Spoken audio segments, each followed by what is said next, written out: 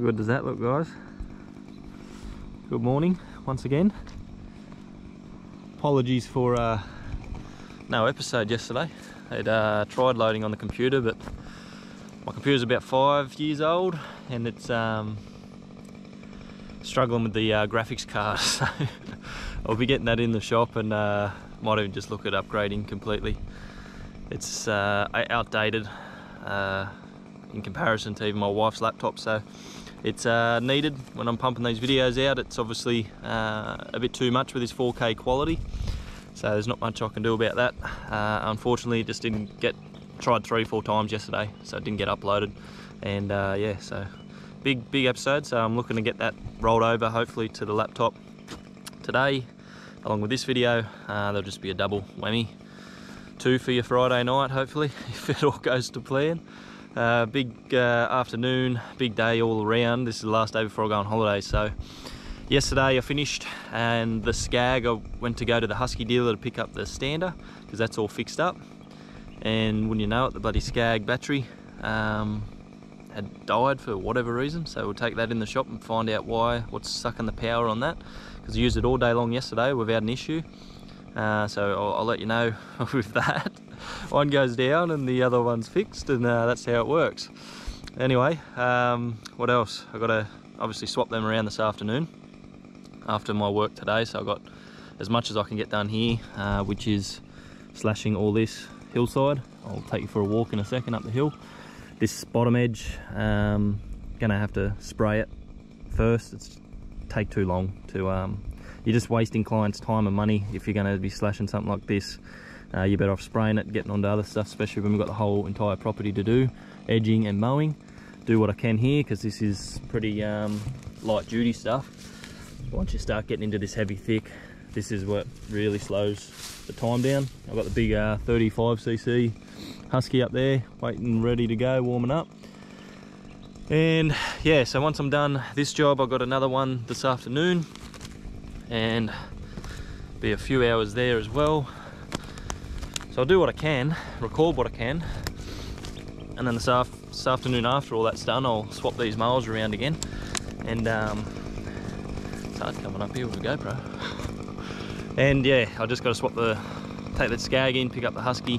So I've got that at least for the property at home because I've got plenty of mowing to do there over the break. Um, got seat covers to put on the ute, got heaps to do. So I'll get this video out, um, get a before and after of this little area, and I'll just uh, record what I can today. Just a bit of a pizza type of a day for you. Thanks for coming for the ride. Cheers, bye. All right, all right. Hopefully you got the picture there. So about hour and a half for this, guys. It's um, a bit of a mission in amongst all these rocks. You gotta watch your footing that's about the most um, annoying part is these rocks, getting them flicked up at, back up at you. Uh, guard or not, it's to happen. and uh, yeah, so right down the bottom here, try not to trip over. and uh, so yeah, this side here, we had a rain shower too. Just really fast moving clouds and uh, it's cleared up, it's gone all out to sea now. Just a top view here. But anyway, all this, like I said, will get sprayed and a couple of little uh, pro tips for you. With uh, the fuel, bring your fuel container down with you. and you're away from your ute, it's sort of back 100 meters that way. Uh, bring a tool such as this, just in case you need to um, take your speed feed head off, which I had to. Um, I hit a rock, split the uh, cord, so I was down to sort of just one half on the actual head there. Happens pretty regularly when you're in like thick stuff like this, you're hitting sticks and the cord will just snap right off on the uh, eyelet there. So that's a little tip. And what else? Bring a bigger machine because um, I got the 35cc Husky there. And honestly, I'd still be going if I had the little shindy down in this stuff, especially down this end, it got real thick. Um, it would have taken double as long just for this section alone with that uh, weaker snipper. So bring the right equipment for the job uh, when you're doing it. I think that's about all the pro tips I've got for you. But uh, get onto the mowing now and see what time we're looking at. I don't know if I'll get any footage at all of the mowing. I'll just I'll carry this with me and see what I can do for you. But it's um, gonna be a busy busy afternoon. So I'll talk to you soon. Bye bye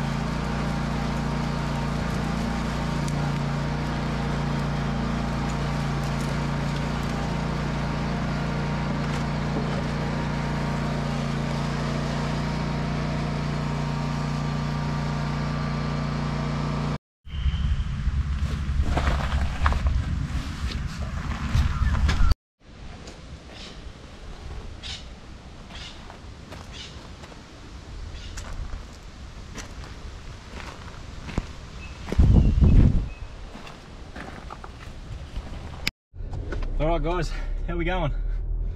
Day's done. I'm on holidays. You. uh, long time coming. It's been a long nine months, longer. Just straight work, um, building.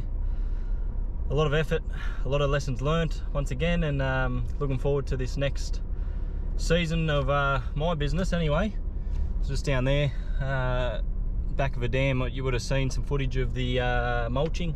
There's five cubic meters of mulch T2 mulch to install and then um, down the back just to fill in the last half an hour just done around the dam bit of brush cutting um, heavy duty brush cutting works and I'll be bringing the blades um, or hooking them up. They're in the side of the trailer but bringing them in some other gear to really knock that down in there because it's going to take more than just a couple of hours. It's a fairly large job in there so I hope when I do it I'll get some footage.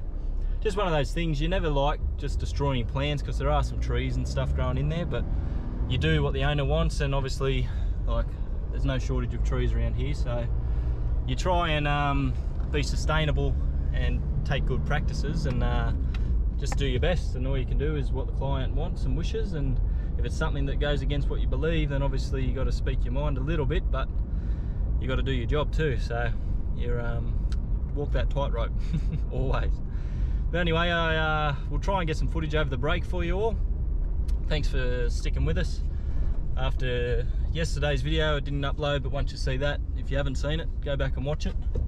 Um, in regards to COVID and it's only my beliefs. It's nothing um, nothing untoward about it. As far as humanity as a whole I, I really try and err on the side of positivity, but um, when things like this happen, you you can't help but be a bit disappointed. Um, again, not surprised, but it is what it is, and everyone's got to take it upon their, themselves and make their own decision. Um, there's right and wrong, and it's not just black and white in this regard. It's uh, there's freedoms and liberties being taken away from people, and even as far as jobs forcing vaccinations, how like, how wrong's that? And the in inquests and the investigations that will be taking place about all of that in the future. And it'll depend how we look back upon this uh, little period of time that we're all going through. So again, I don't wish any ill upon anyone. It's uh, it's unfortunate everything that's happening, and it's just something that I purely don't agree with. And again, I don't be irresponsible. Um, I'm willing to suffer any consequence that comes my way by not wearing a mask or by not getting a vaccine. Like I haven't had a vaccine since I was just into high school. I think they were mandatory for like um, your tetanus shot or something like that. And again, I'm probably due for that, but it's um, like I don't know. For me, uh, I'm definitely more natural uh, approach to things, and that's just my belief and my views. It's just simple as that. It's um, if you're strong enough, fit enough to survive, that's that's my opinion. So. I've uh, battled my whole life to try and put on weight. If I lived like 10,000 years ago, I still wouldn't be alive. I wouldn't have the availability to food, you know what I mean? I wouldn't have survived the winters. So that's what I mean. They're different eras, different times, and uh, we're growing up in a pretty prosperous time as it is. If this little virus is going to knock us out, then we've got something uh, definitely wrong with us anyway to begin with. So leave it at that.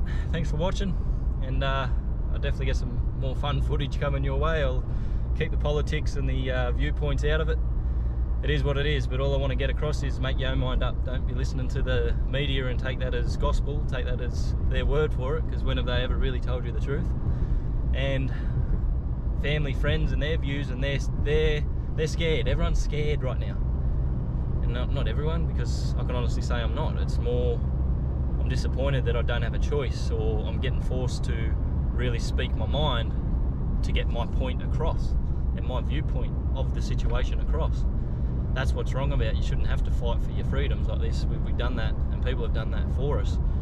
Um, and we still pay respect to that to this day. So it's uh, it's a tough one, and it's not fun. But hopefully we can all get through it and uh, be supportive of one another and in each other's decision. Because if someone wants to get a vaccine, it, it's not going to be like I don't want to ever talk to them. It's that's their choice, just as it is mine not to. So just got to be a bit mindful I guess guys and um, understanding. I'm not going to get moving here so I'm going to whack you down for a second. Uh, okay, you probably still got me there in view. But uh, yeah, I'm just going to drop this MZ off because I don't have enough room on the trailer for the uh, stander to fit on. And uh, with that, I'm uh, just going to charge up the Scag, give it another test run over this next two weeks while I'm off, make sure it's all sort of good, hunky-dory. Uh, because just weird that it went flat the way it did. Like the accessories have been left on before and it still started on fine. So wouldn't take much to uh, drain these little batteries, but it's happened before on the um, Husky Stander as well. The accessories were left on and uh, charged it up, never had an issue since. So hopefully it's just a freak uh, not accident, but a, just a once off type of thing, and we'll be right. So leave it at that, guys. That's probably enough footage for today. And like and subscribe, and again, make your mind up. Decide what you want to do, and, and go for it. There's plenty of things we can do in this life, and uh, people aren't going to tell us no. it's not the way it works. Not when you're uh, an entrepreneur, anyway. When you're trying to have your own business and get going fair enough you've got to work for someone and you want to keep your job but again you've got the choice. You can decide to leave and start your own thing or go work for someone else that doesn't enforce such harsh uh, mandates on you. So decide decide all that. It's not for me to decide for you. All right? Thanks for uh, sticking uh, right to the end of this video. Cheers. Talk to you soon. Bye bye have a go at that hair. Sorry guys didn't check that before I put the uh, record button on there.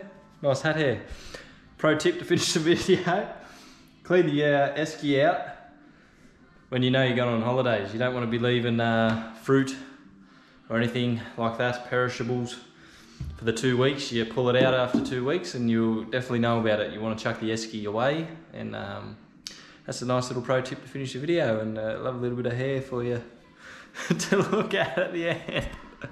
oh, definitely going board, fellas and ladies if you're watching. All right, see you soon. Bye bye.